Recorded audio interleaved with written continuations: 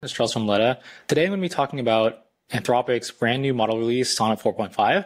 And specifically, I'm going to be focusing on this new tool they added and they, a tool that they trained the model to be very good at called the memory tool. I think the memory tool is probably the most interesting um, aspect of this model release. And this is, you know, a new flagship model release. So there's, of course, you know, various scores that you know, Sonnet 4.5 is presumably better better than you know even Opus, but clearly you know Sonnet 4, it's a direct predecessor, you know, better at various tasks.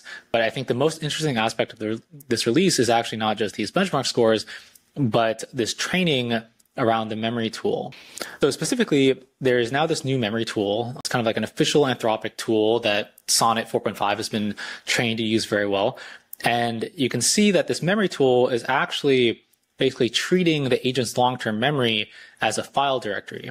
And I think this kind of makes a lot of sense given uh, the trend of how models have been trained to be better and better at coding over time.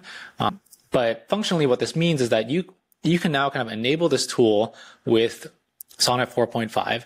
And basically the model will kind of try to use this memories directory as its long-term memory bank. This is kind of like an extension of the agents.md idea or the claude.md file. So yeah, if you're familiar with the coding agents, if you use, you know, Claude Code, Cursor, Codex, um, for a while now, maybe like six, 12 months, there's been this concept of like the, the markdown file that you're going to put in your directory. Um, a popular one now is called like agents.md. I think this is supported by, yeah, kind of supported by the majority of coding agents apart from Claude Code. But yeah, you basically make this file in your repo and then you describe, you kind of add things these are kind of like memories or but the, more like instructions for an agent for how to use your code or how to use your repo.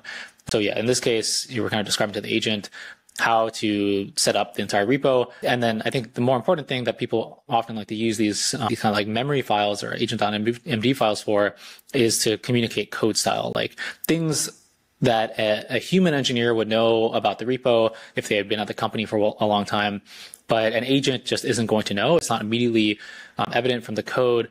Uh, so you can kind of like write it down into these files and coding agents like Claude Code or any of these other ones, you know, Jules, AMP, Codex, they will kind of treat this file, the agents.md file as memory.